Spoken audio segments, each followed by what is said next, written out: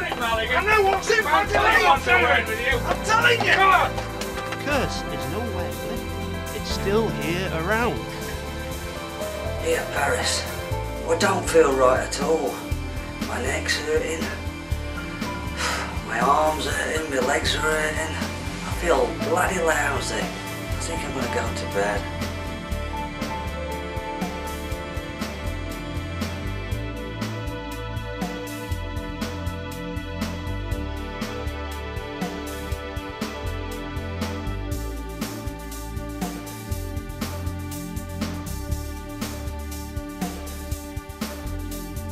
Reopen the Denzel 6 case again? So what you call me in for then, Dave? No, you wouldn't believe me if I tell you. We're off to the morgue to see Connie Shingles. Uh, they've opened the Denzel 6 case.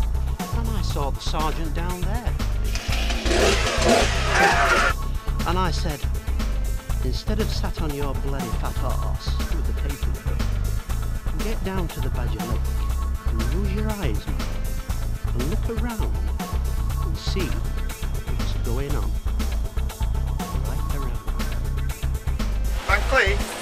Cleef, Oz Clapham, diver. I do believe you want me to search the lake. What exactly am I looking for in this lake? There's something killing people. They, they think it's another Denzel on the loose. There are forces at work in this place.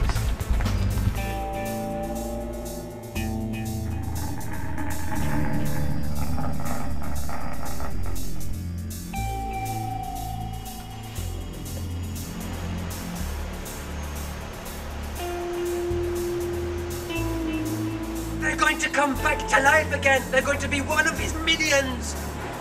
It's either going to be this or this. And I can't shoot them, so you're going to have to do it. Sure they did. Yes.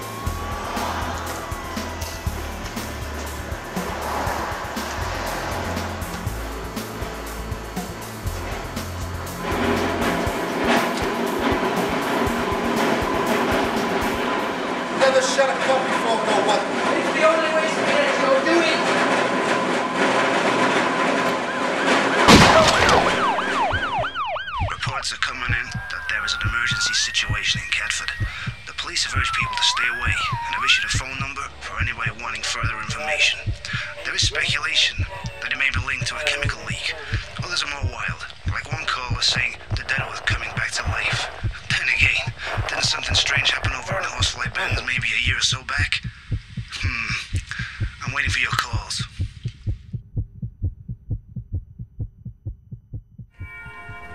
Dark clouds are gathering. Will no one listen to me?